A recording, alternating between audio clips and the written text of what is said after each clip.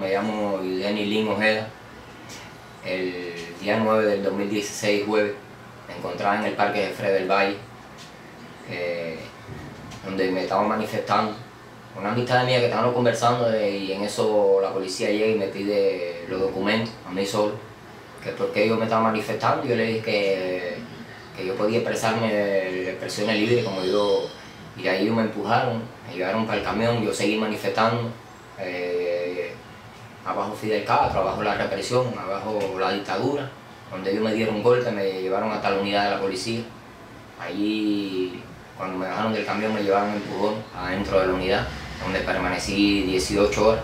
Sí, me dieron un golpe por la cabeza, lo que no me dejaron marca, la única marca fue aquí, cuando me montaron al carro, que me hicieron esa marca ahí fuerte, que casi no puedo ni caminar, tremenda lesión tengo ahí. ¿Te pusieron alguna multa? Cuéntame me sobre eso. pusieron una multa de 30 pesos y me dijeron que era por alteración del orden.